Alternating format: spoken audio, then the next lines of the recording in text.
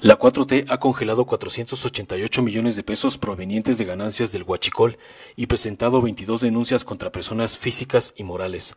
Los nombres de las personas físicas y morales cuyas cuentas fueron bloqueadas se encuentran reservadas por la protección de datos personales.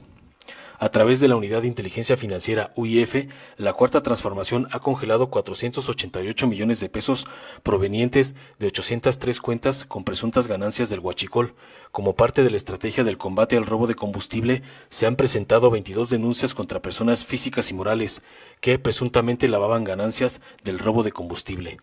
Los nombres de las personas físicas y morales cuyas cuentas fueron bloqueadas se encuentran reservadas por la protección de datos personales, además de preservar el secreto bancario y por estar abierta la investigación. Al comienzo del sexenio, el presidente López Obrador ordenó una nueva estrategia contra el combate al huachicol, que fue desde apoyos sociales a la población beneficiada por el tráfico del huachicol hasta el transporte de combustible directo en pipas para evitar la perforación de ductos y los boicots organizados por los guachicoleros.